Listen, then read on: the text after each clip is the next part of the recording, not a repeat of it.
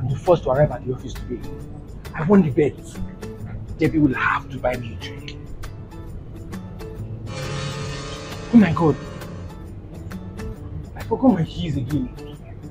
Uh, I guess I'll just have to wait for her to come.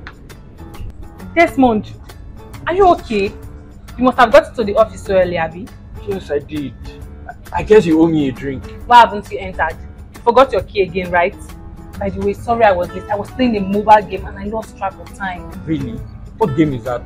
Come and have a look at this particular game. It has a lot of local playing methods in Nigeria, suitable for all age players. The most important thing is that now the game developers have prepared a lot of rewards waiting for you. Don't miss it. It's a time limited reward. Everyone has a share. Look, the most important thing is that you can withdraw your rewards token obtained in the game to your bank card. First, you enter the withdrawal method you want to use. Then you enter your bank card number and finally you enter the amount you want to withdraw. You click cash out to see how fast it is. Of course, if I invite you to download the game in the game now, we can both get more rewards. See, if you have time, eh, you can also download one now. Let's go. I'll buy you a drink. Really? Tell me how to download that game first. Just click the link below this video to download. Waje, get your game on.